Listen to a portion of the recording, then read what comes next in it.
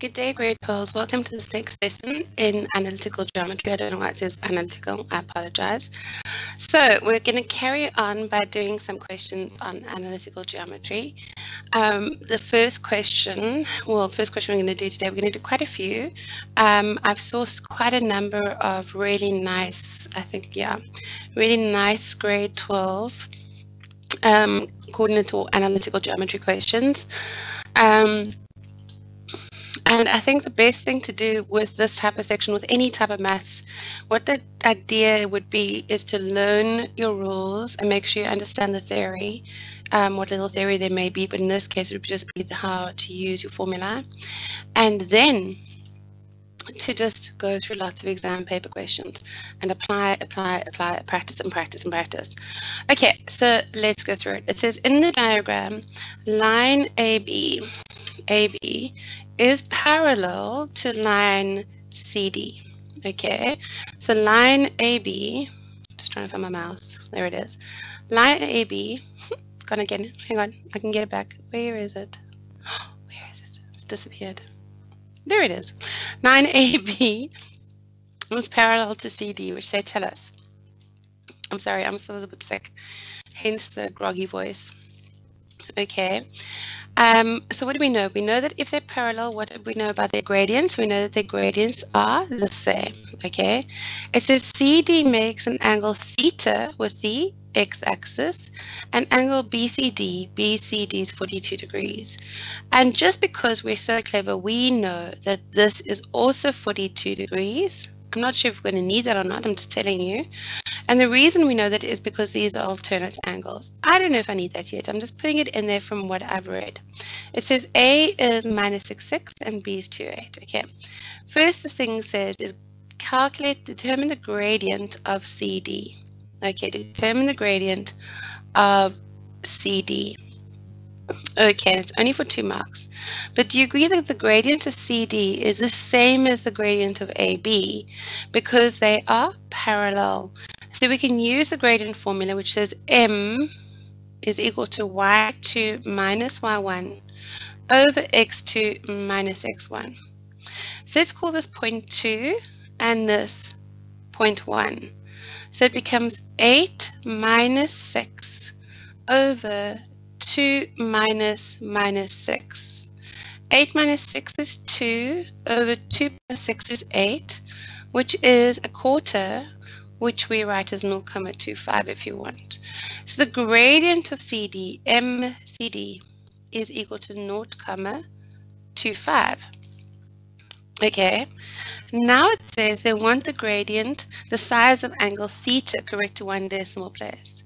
Okay, well that's pretty easy because on your formula sheet you will see that tan theta is equal to m. Okay, and we know what m is. m is 0.25. Therefore, we know that tan of theta is 0.25. Therefore, theta is going to be second function of 0.25. So we're going to go shift tan. Let's try again. So let's go back to that. And then let's get out our calculator. And we're going to go shift tan of 0.25 equals 14.04, 14.04. So theta is equal to 14,04 degrees, 14,04 degrees. Okay, so therefore we know that this is 14,04 degrees. Now they say the gradient of BC, aha, so we didn't really need to use that 42 degrees, but we do need the 42 degrees here because they want the gradient of BC. Okay, they want the gradient of this line here. But we can work out what the whole of this angle is. The whole of that angle is 42 plus 14, comma 04, which is comma 046 5. It's 56.04 degrees. So the whole of this angle is 56.04 degrees. So again, we're going to use the fact that tan theta is equal to m, but this time we've got theta. We've got theta is 56.04 degrees. So we're going to go tan of 56,04 degrees is equal to m. Therefore, m is equal to tan uh, 56.04, no, let's try again, 0, 0, 4, close bracket equals 1.48. So the gradient is 1 comma 48. And we're happy with that because it's definitely steeper than CD, which was 0.25. And on top of that, it's still positive. So that looks like a good number. Okay, always check your answers to make sure they make sense. Okay, happy with that. Right, so that was quite a nice question pretty easy. Hey, it was nice little introductory. Let's get your brains going in analytical geometry. Now let's get to something a little bit more complicated, a little bit more. Okay, it says, in the diagram below, a tangent is drawn to the circle at a point minus 3, 6. Okay, the equation of the tangent is 2y minus x minus 15. Okay, so that is the equation for this tangent. But what do we know? We know that the tangent is always perpendicular to the radius. Okay, just pointing it out there. And I'm not sure where the center of the circle is. It's, it's determine the equation of the straight line that represents the diameter of the circle. Okay, there you go.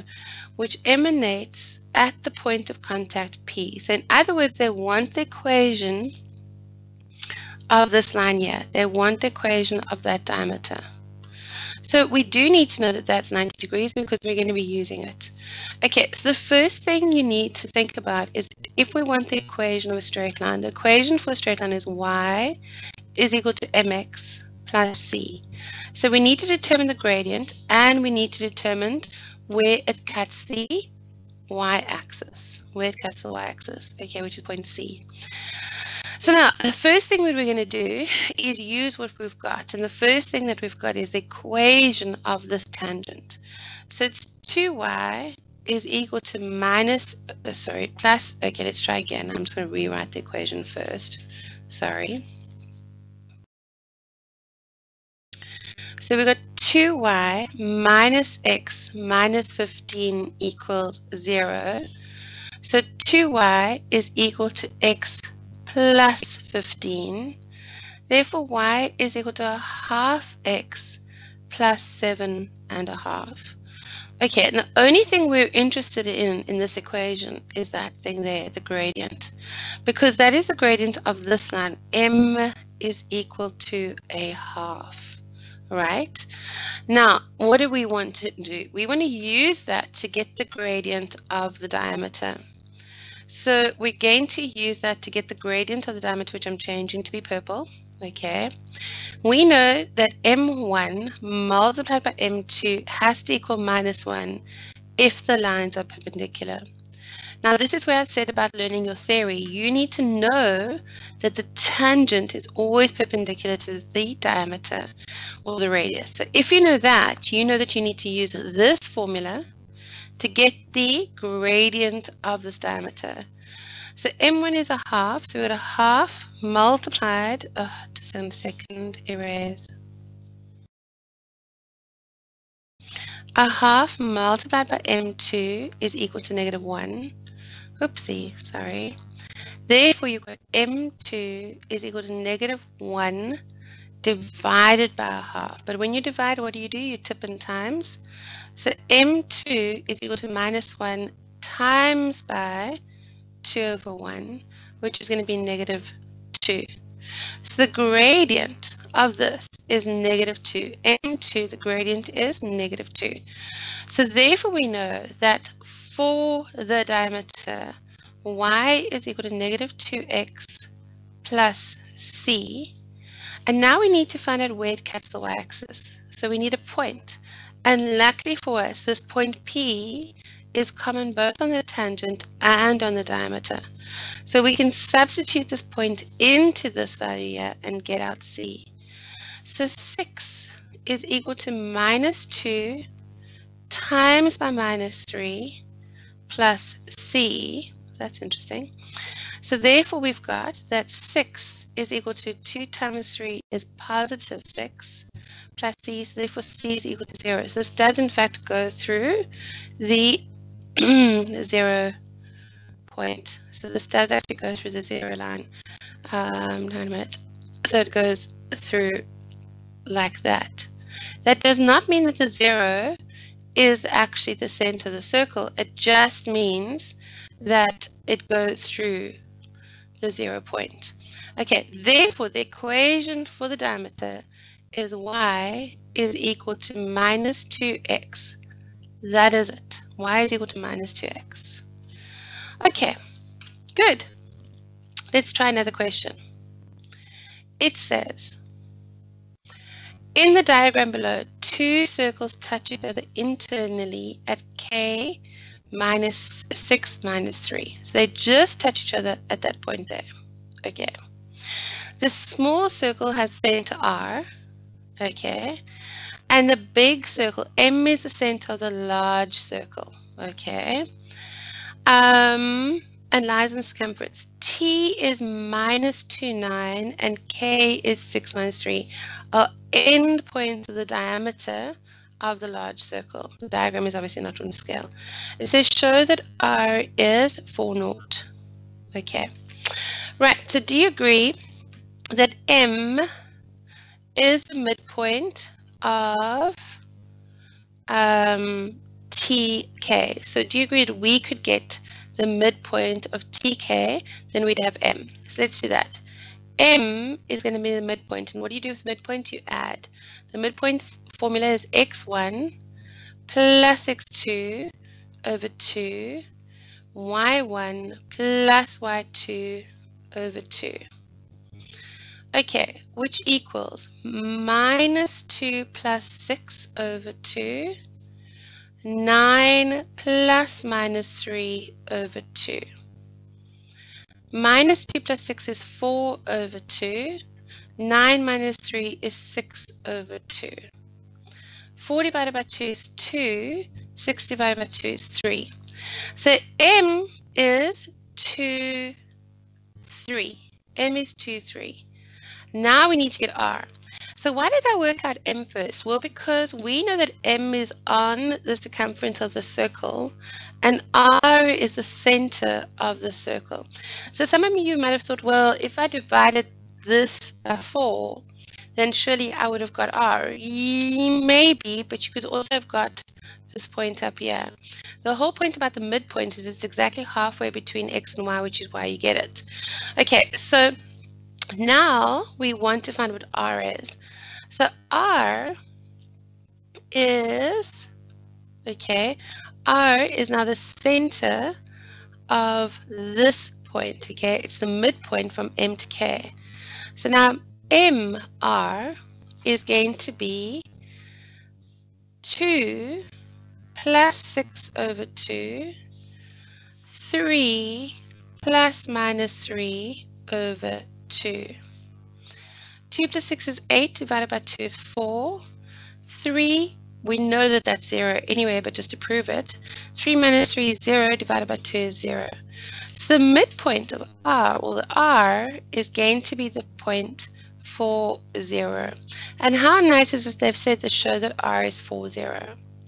Okay, they're not particularly being nice. The reason they need to show you that is because you need to be able to use it in this bit. You need to be able to use R is 40 in the bit where it says determine the equation of the circle with center R. Okay, so that's what we're going to be doing. We're going to be determining the equation of circle center R. Awesome. So like I was saying, and I've said before, in actually I can just erase all the writing. Um, as I've said before, you can actually use this. So even if you couldn't show that R is 4, 0, you can use that in determining the equation of the circle with center R, okay? Since we now know that that's 4, 0. And even if you determined the R value and it's not what they suggest, so let's say, for example, you're convinced that they've messed up and it's not that. So they said 3, 0, okay? It doesn't matter. Always use what they gave you in the next part of the question. Okay, just in case.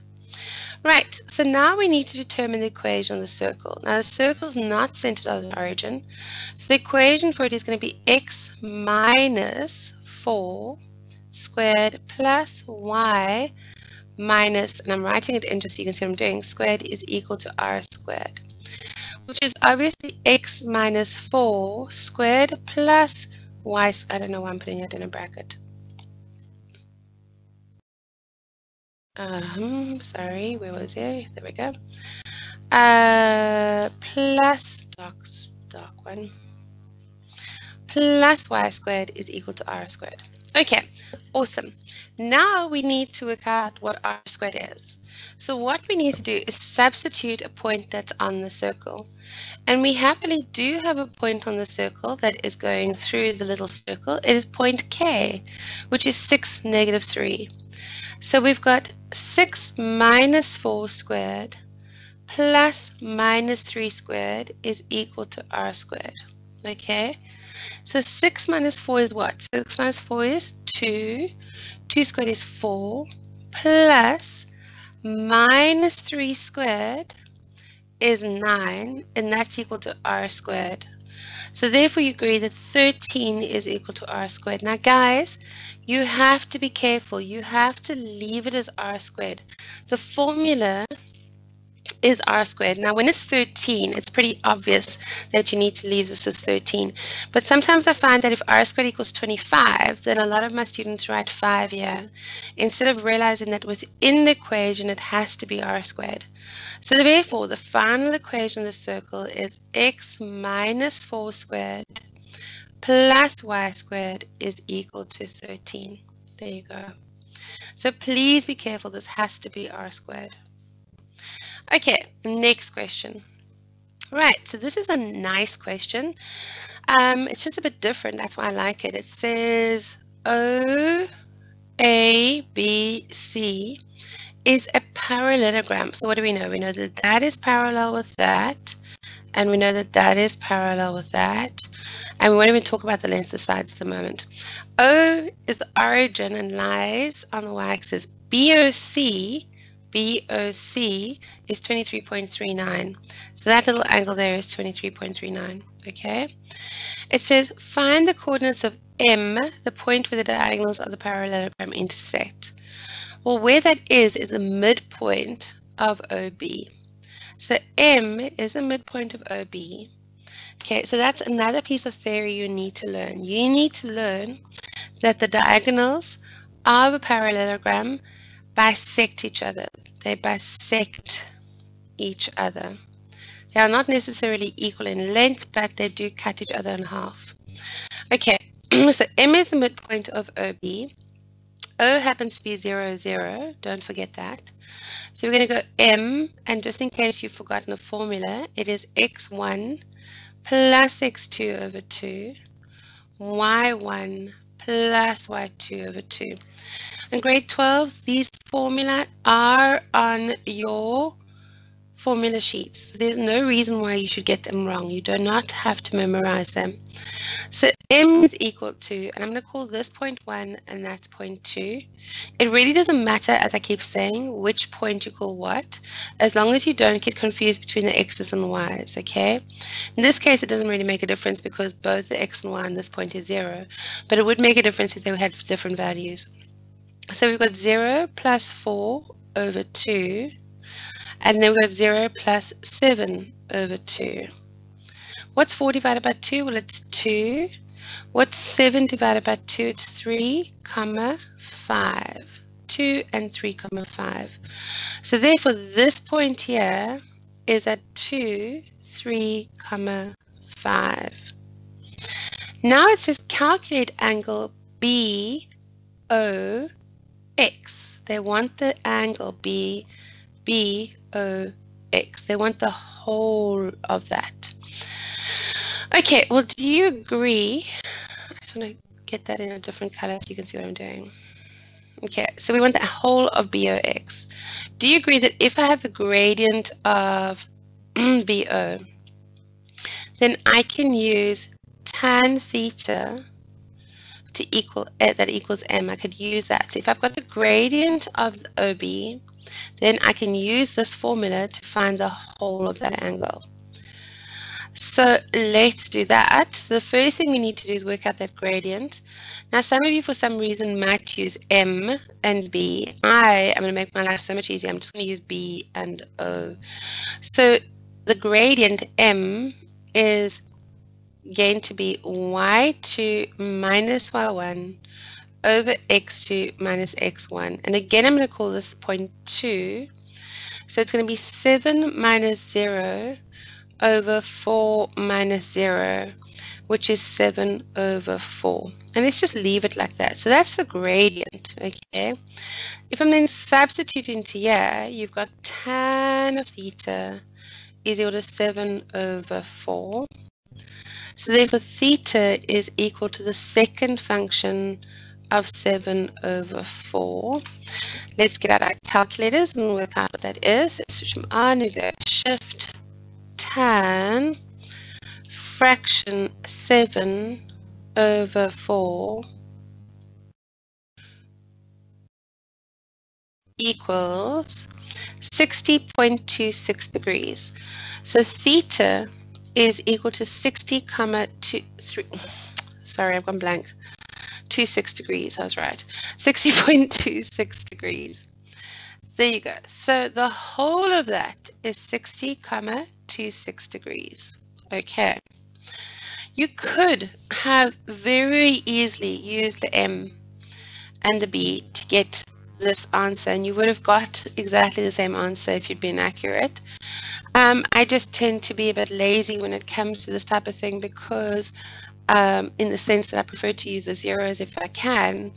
And the reason for that is because in my world back in the day, we used to have limited calculator use in our exams. So that's why I do it. Okay, so now it says hence calculate COX. So we've got BOC. Do you agree? We've got BOC is equal to 23,39 degrees. All right, let me show you where that is. Let's use a highlighter. We've got that angle, right? We've just worked out the whole of this. So do you agree that COX is going to be the BOX, which we've just worked out, the BOX, which equals 60,26. And we're going to subtract it. So we're going to say, therefore, COX is the whole of that angle, which is BOX, subtract BOC, subtract BOC, okay? So that's going to be 60, comma 26 minus 23, comma 39, which equals what? Okay, let's have a look. So that is 60.26 minus 23.39. Let's try again. minus 23.39 equals 36.87. So it equals 36 comma 87. Oh, ah, I don't know why it keeps doing this. I must fix it. 37, 36.87 degrees. So this little angle here, let's change the highlighter color, shall we? This little angle there is equal to that angle there is equal to 36,87 degrees. Ah, excellent. Right, so now we've got that. Okay, now I'm going to just erase some stuff so that you can actually see what we're doing next. Grade 12s, if you're watching this live, or even, yeah, if you're watching this live, and I erase something when you were still busy looking at it, please feel free to go and look at the recording. You get the recording in exactly the same way that you got to the live lesson. And then you can watch the video. And what's nice about it is obviously you can pause it or you could even um, rewind and watch it again. So don't panic too much if you miss something. Yeah, okay. Now let's change color. Let's go to purple. Okay, so now with that, now it says determine the gradient of AB. Now the gradient of AB happens to be the same as the gradient of OC. Why? Because they told us this was a parallelogram and we know that these two sides are parallel. Therefore we can say, well, the gradient of AB is equal to the gradient of OC, right? But we can work out the gradient of OC. It's pretty easy. MOC is going to be given by the tan of theta. But in this case, theta is 36,87 degrees because that's how big that little angle is. So in fact, that shouldn't even be an arrow, it should be equals. Okay, so therefore we can say MOC is tan of 36,87 degrees. Therefore, let's have a look at it. We're going to do tan of 36,87 equals 0,75. So this gradient here, m of OC, which equals MAB, is 0,75. Right, excellent. Now they're asking for you to determine the coordinates of C. Okay, so let's think about this. Um, we know the x value of C. We know that BC is parallel to AO. Okay, do you agree? Because of the fact that it is parallel and AO is the y-axis, therefore BC must also be vertical. So for the x value is 4, but we don't know what the y value is. But they've asked us for the coordinates, so we can't just give the x value, we have to give the x value and the y value. So therefore we've got y is equal to mx plus c is the straight line, which represents any straight line actually, but we're now going to talk about OC. Do you it cuts at O? O. Okay, therefore this is just a zero. So therefore we've got y is equal to mx, okay? But we just worked out what this gradient was. We did, it was 0.75, right? That was one of the points of this, was that we found out the gradient of this dude is 0.75. So therefore y is going to be 0.75x. Okay, cool. So now we've got equation for this line OC so if we have the x value of 4, do you agree we can find the y value? Let's work it out. y is 3 over 4 multiplied by 4. Okay, because x value is 4. So therefore these cancel and the y value is 3. So therefore C is going to be the point 4, 3. 4, 3. Okay. Awesome. Now we can easily, very easily determine the coordinates of A. Okay, because do you agree that A has to be the same length as BC? AO has to be the same length as BC. And do you agree that x value here is obviously zero? So this is just a zero. Now we need... now we need to find the y value, the y value. But do you see that this point went from 3, y equals 3, to y equals 7. So how much did it go up by? It went up by 4. Okay, it went up by 4 units. This has also got to go up by 4 units because they are not only parallel, but they're the same length. Because this thing is a parallelogram and opposite sides of a parallelogram are equal.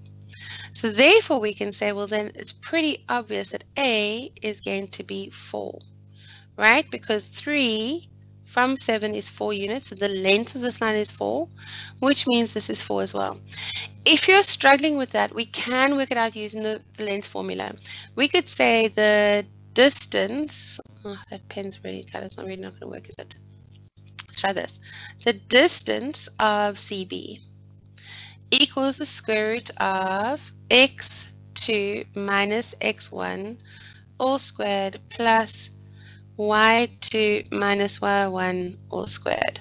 Okay, So therefore, we've got x2 minus x1 is 4 minus 4 is 0. So it's just 0.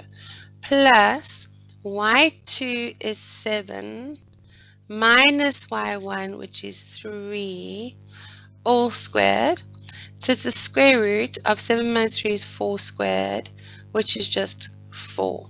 So therefore, you can see that that's definitely four units long. It doesn't, if, if it freaks you out that you're just looking at the horizontal, I mean the y values for this, then don't panic. You can just use the distance formula. It's really not a big deal.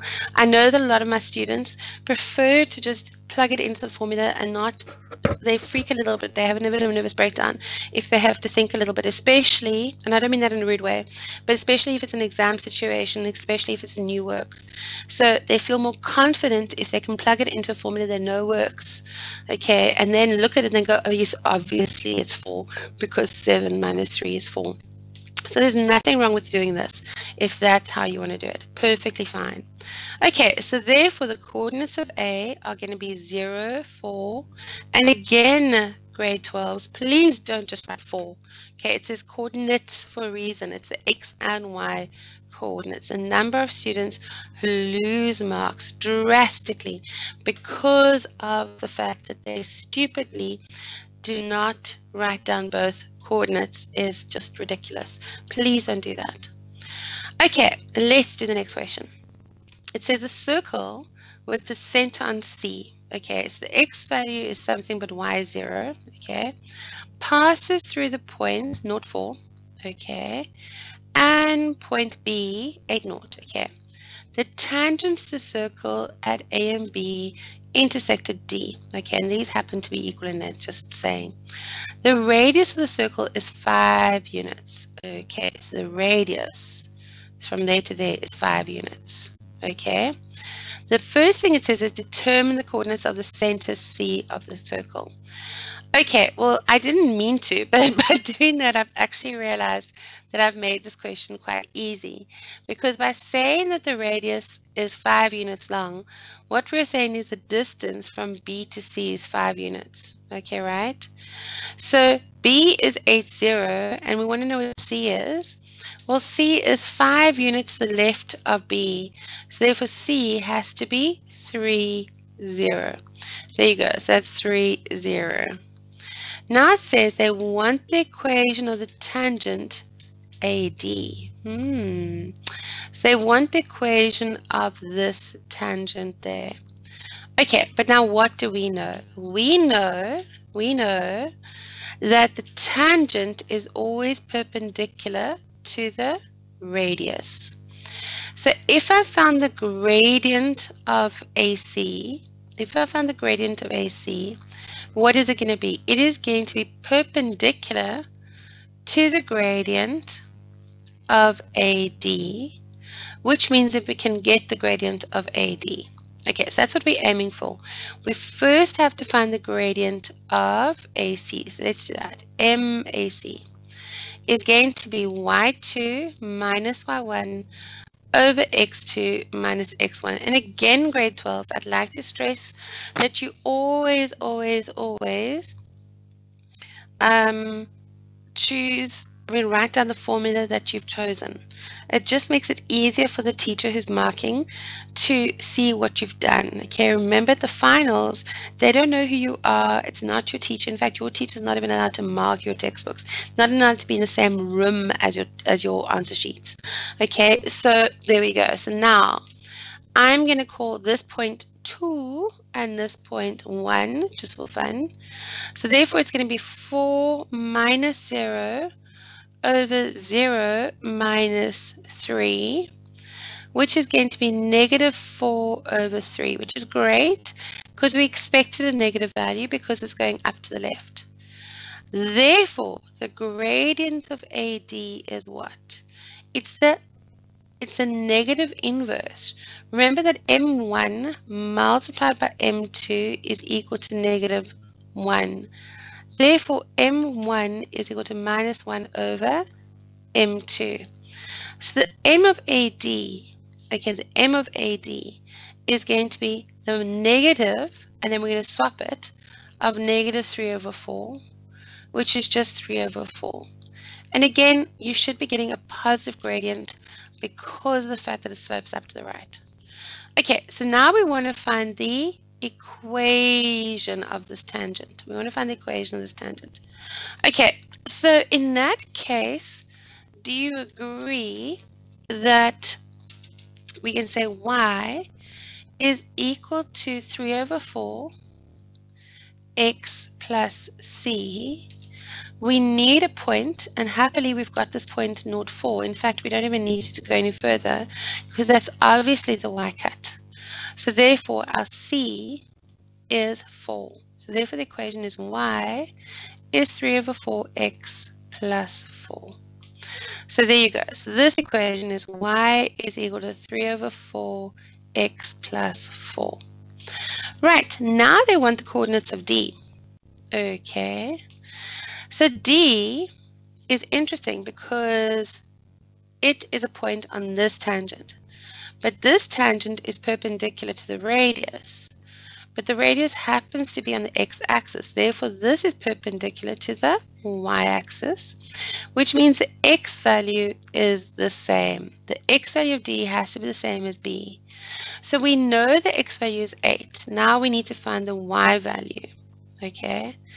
So do you agree we this point here, 8 whatever, has to be common for both this equation and this line.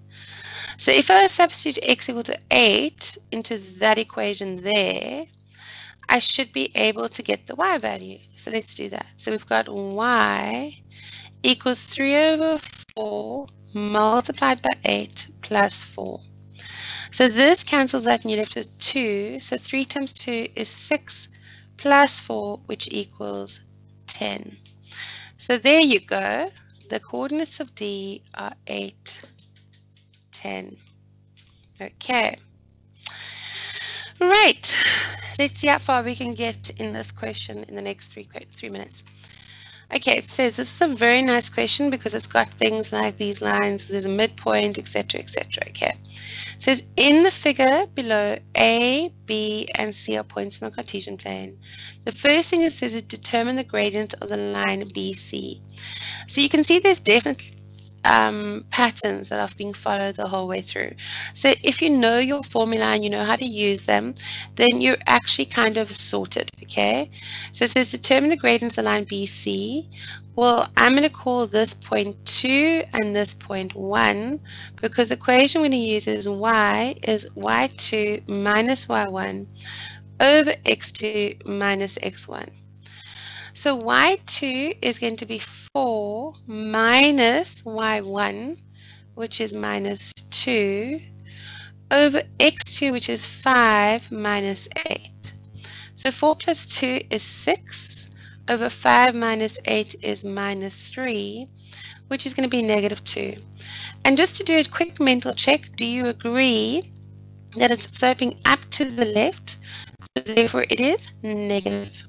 Okay, so therefore the gradient here m equals negative 2.